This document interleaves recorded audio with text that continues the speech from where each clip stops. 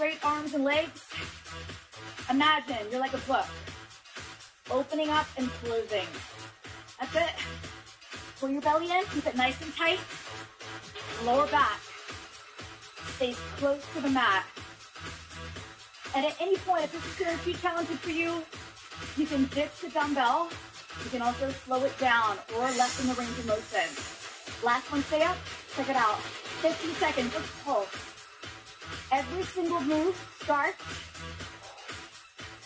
and finishes strong. This is your and then down, lean back, squeeze your abs.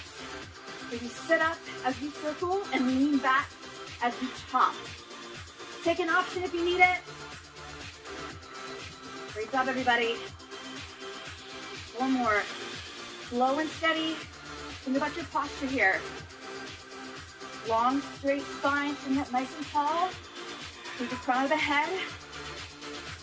Same move. Here's your progression. Straight leg. Say what? Circle.